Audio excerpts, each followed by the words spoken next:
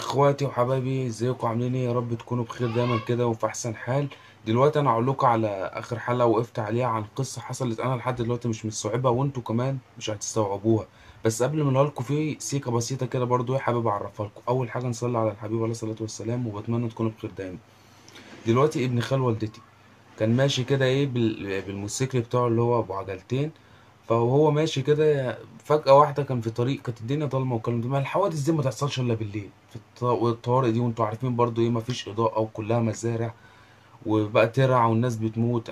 حاجات ربنا يكفينا الشر يعني. فكان ماشي كده بالموتوسيكل وهو ماشي يعني يا دوبك إيه يعني بيبص كده جنبه أقسم بالله زي ما بقول لكم بيبص كده جنبه لقى موتوسيكل زيه واتنين راكبين عليه من غير دماغهم. وحياة لا إله إلا الله زي ما أنا ما بقول لكم كده. صدقوا أنتوا الموضوع ده؟ ده لسه اللي جاي هيبقى إيه أسوأ من اللي أنا بقوله لكم. كده وهو ماشي كده يا دوبك. يعني بص لقى اتنين من غير دماغ. أنت حط نفسك أنت في الموقف ده تكون ماشي سايق كده؟ موتوسيكل جنبك من غير دماغ. طب الموتوسيكل ماشي إزاي؟ طب مين دول؟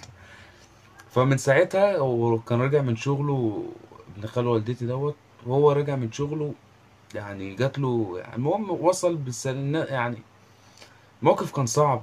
فأغمى عليه كده فعمل حادثة يعني الناس اتلمت مش عارف إيه ودوه البيت. من ساعتها بقى من ساعتها بقى وهي جات له حالة النفسية ديت وبطل يروح شغل وقعد في البيت و... ومعرفش يخرج من الصدمة ديت. توفاه الله الله يرحمه ويرحم موتانا جميعا يا رب ويحسن ختامنا. فاللي بعديها بقى اللي أنا بقول لكم عليها خلاني دولت راحوا نادوا عليه هو حصلش. بس هو إيه اللي حصل بشوفه اللي حصل إيه. هي قصة عجيبة. كان ابن خلان خلاني والكلام ده كان موجود في البيت. فلقى اللي جه نادى عليه وهو في البيت قاعد. فمين مين؟ أيوه ده أنا محمد وحسن عيال خالاتك. يلا بينا ننزلوا إيه؟ نلعبوا كده ونشوف. ده الكلام ده الساعة 3 الفجر. ده مين اللي هيجي نادى عليا الساعة 3 الفجر يقول لنا العبوا ولا الكلام ده؟ فالمهم هو إيه م- نزل ماشي يا عم عيال خلاني بينادوني ماشي نزلوا. المهم خدهم وراحوا بحتة إيه بعيدة بعيدة. فهم بيلعبوا كان كل شوية ال- ابن خال خلاني ده وابن خال أمي كان كل شوية كل لما بيجوا يلعبوا ويجي يخبط فيهم هما يعني يخبط في رجليهم رجليه توجعه يعني أو يتعور كده يقول لهم أنتوا رجلكوا حديد أنتوا عورتوني أنتوا أنتوا. فالمهم كده إيه يعني في طلعت الشمسية أول ما يعني الشمس طلعت فجر جدا قبل الشمس ما تطلع الفجر جدا طبعا وبعد كده الشمس أول ما قال الفجر الله أكبر ملاش حد حواليه. خالص ملاش حد حواليه. فهو استغرب. ماما كان كانوا عيال برضه فهو استغرب. قال لي إيه؟ قال إزاي امال مش هما جم نادوا عليا؟ يعني مشوا وسابوني. طيب ماشي. لما اشوفكوا بالليل لما اشوفكوا بكرة ولا إيه وهعمل وهخلي جه بكرة. أنتوا راح لهم بقى البيت. طب أنتوا دلوقتي يا عيال خلاني لما طالما أنتوا جيتوا ناديتوا عليا مشيتوا من غير ما تقولوا لي وفرهطتوني ووديتوني مكان بعيد وي وي. الحمد لله ان هم ما قتلوهوش شوفوا بقى جت إزاي. الحمد لله ان هم ما قتلوهوش فقال لهم أنتوا جيتوا ناديتوا عليا وم- ومشيتوا حتى ما حدش آه، يعني آه، مشاني معاه ولا ولعبكم كان وحش كل شوية تعوروني. قال لهم قالوا له إحنا؟ قال لهم أيوه أنتوا. قال لهم أقسم بديننا إحنا ولا مشينا ولا اتحركنا ولا عملنا أي حاجة. أنت عبيط في حد يجي نادي على حد الساعة 3 يقول له تعالى نلعبوا كورة وناخدك في الحتة البعيدة دي وكمان رجلنا حديد. قال لهم من مين اللي جه عليا؟ قال لهم برضه أنت مقتنع مين اللي هيجي دلوقتي يلعب كورة الساعة 3 الفجر؟ أو هنيجي النادي عليك بتاعي ليه؟ ما فيش الصبح بن... بنقعدوا فيه أو نلعبوا فيه. فستي بقى إيه الله يرحمها يا رب ويجعل مسواه الجنة فهمته الوضع. قالت له يعني إيه إيه. مش مح... يعني محتاجه عقل. إزاي عيال خلانك يا حبيبي هيجوا ينادي عليك؟ ورجليهم تبقى حديد بتعورك كده ورجليهم شكلهم غريبة.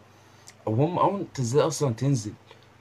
ففهمته بقى إن دولت اللهم احفظنا ويكفينا الشر.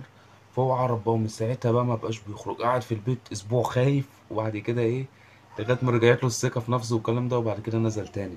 ستي الله يرحمها كده دي بقى إيه اتنكرت باسمها. دخلت يعني سبحان الله كان آه، في حد كده آه، من قرايب ستي كان آه، موجودين في المنزل بتاعهم. ففي المفروض ست اللي جات قالت لها بقول لك إيه هاتي لي كذا اللي أنت شايلاه كذا وهو كذا بنفس التفاصيل وبنفس المعنى. ده الكلام ده إمتى؟ بالليل كل النصايب والمشاكل بالليل. فهي استغربت قالت طب روحي يا أما وأنا هجيبهولك أو هجيبهولك بالليل أو استني شوية أو أو لا لا ما ينفعش يا بنتي. ده أنا عايز داهم دلوقتي عشان هعمل وأخلي وأنا قلت لك حاجة امرتهم هاتيهم بقى مش أنا اللي اديتهم لك هاتيهم.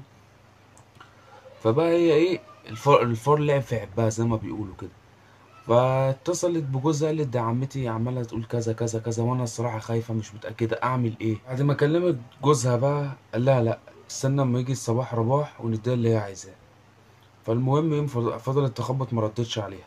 وهي حركة كويسة وذكاء منها ده.